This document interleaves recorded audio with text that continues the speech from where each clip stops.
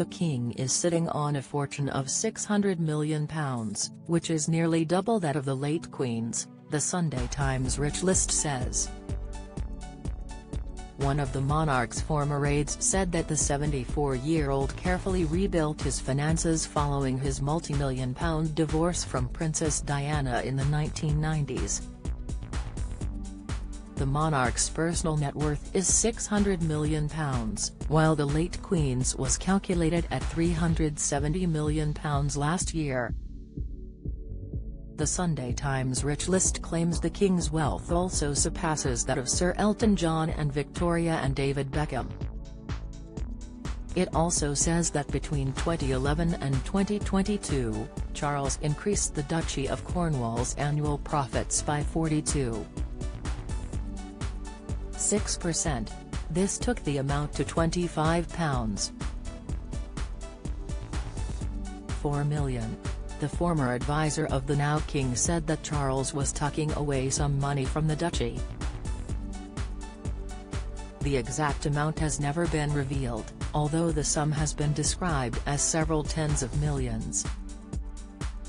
With the king's keen interest in environmental issues, he is known to be diligent about switching lights off and therefore conserving energy where possible. During a previous interview with Vogue, the then Prince of Wales also admitted that he hated throwing things away, including clothes. Over the past three decades, the king has launched his Duchy Originals range.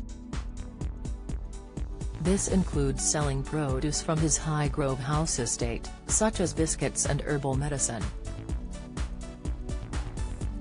All of the products were originally sold at Harrods, Fortnum and Mason and, eventually, Waitrose. Royal author Robert Hardman has previously stated that people sometimes get confused about the royal finances. He added that people often think that the royal family personally own the Crown estate and the duchies.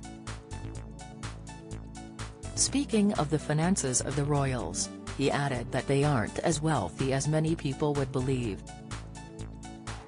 Get the latest royal news straight to your phone by joining our WhatsApp community.